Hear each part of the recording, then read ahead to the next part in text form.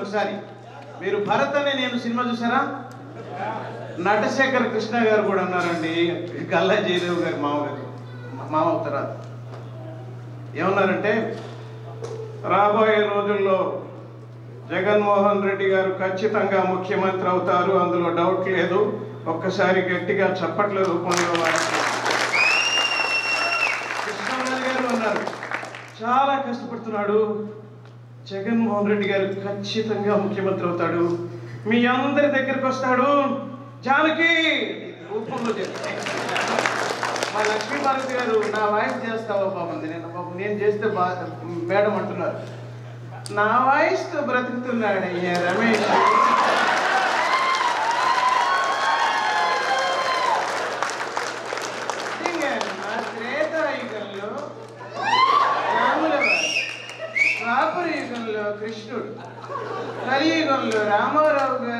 రాజశేఖర రెడ్డి గారు.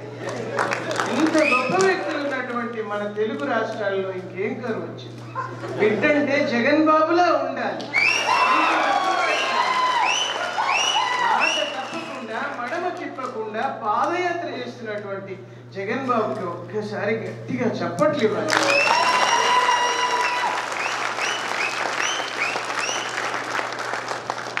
భరత్ అనే నేను సంబంధించి నవ్వుదాం. అంటే ఆయన బర్త్డే రోజుకి నవ్వుకుందాం మనం మామూలుగా. ఎర్రటి ఎండలో పాదయాత్ర చేస్తూ అలసిపోయిన నా బిడ్డ నుదుటిపై చెమట చుక్కనై పలకరించారు.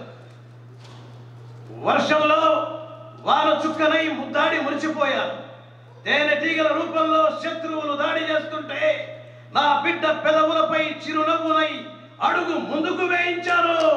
మీ అందరి సమక్షంలో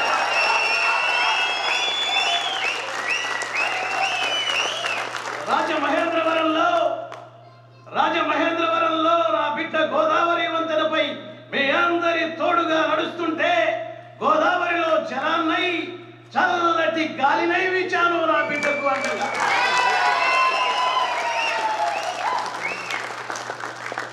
ఇడుపులపాయకొచ్చి నాన్న నేను ప్రజల కోసం పాదయాత్ర చేస్తాను అన్నప్పుడు ఖచ్చితంగా నా హృదయం బరువెక్కింది. ఎందుకంటే పాదయాత్ర చేసిన వాడిగా నాకు తెలుసు. నాకంటే ఎక్కువ నడుస్తూ ఆ పాదాలకు బొబ్బలెక్కినప్పుడు వాటిని కూడా లెక్క చేయకుండా నడుస్తున్నాడు అంటే మీ అందరి కోసం ఆ బిడ్డ ఖచ్చితంగా పని చేస్తాడు మీ అందరి మధ్య ఉంటాడు. యువకుడు ఉత్సాహవంతుడు నా బిడ్డను ఆశీర్వదించమని మీ అందరికీ చేతులు జోడించవచ్చు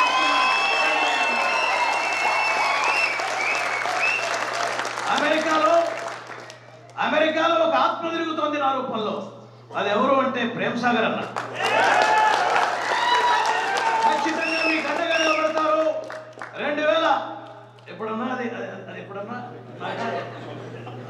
రెండు వేల రెండు వేల ఇరవైలో నాట సమావేశానికి ఖచ్చితంగా ముఖ్యమంత్రిగా వస్తాడు. రాసుకోమని చెప్పి మీ అందరికీ మనవి చేస్తూ నా బిడ్డను ఇప్పుడే మీ అందరి ముందు ప్రమాణ స్వీకారం చేస్తున్నా.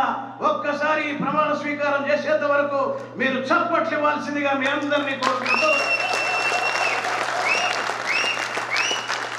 ఎడుగురి సందింటి జగన్మోహన్ రెడ్డి అనే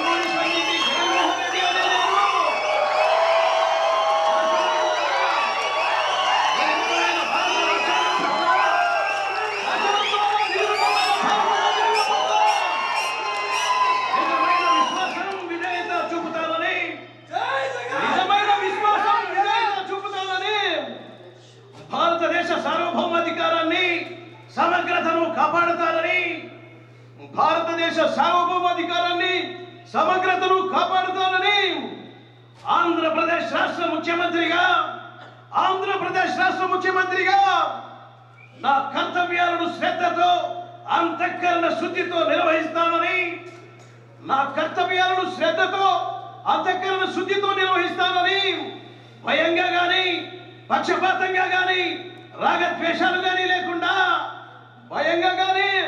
పక్షపాతంగా కానీ రాగద్వేషాలు కానీ లేకుండా రాజ్యాంగాన్ని శాసనాలను అనుసరించి రాజ్యాంగాన్ని శాసనాలను అనుసరించి ప్రజలందరికీ న్యాయం చేస్తానని ప్రజలందరికీ న్యాయం చేస్తానని దైవ సాక్షిగా ప్రమాణం చేస్తున్నారు.